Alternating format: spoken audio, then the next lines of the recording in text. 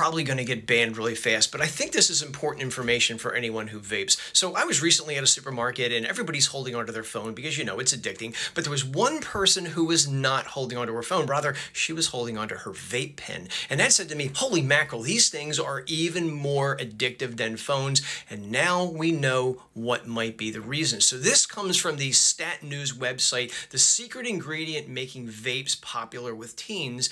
There's an ingredient called which is an artificial sweetener. It's between 7 and 13,000 times sweeter than sugar. It's in ice cream, lip gloss, and it's even in sparkling water. And now researchers have also, also found that this neotame ingredient is also in flavored vapes. There was a study published in the Journal of the American Medical Association this week, which found that neotame was in all 11 of the popular disposable vape brands that it tested, and it, it threw out some names that I've never heard of before.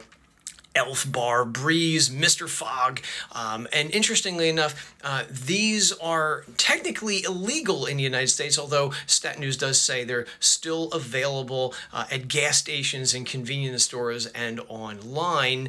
So if you are into this stuff, maybe this is the reason why you can't put that vape pen down.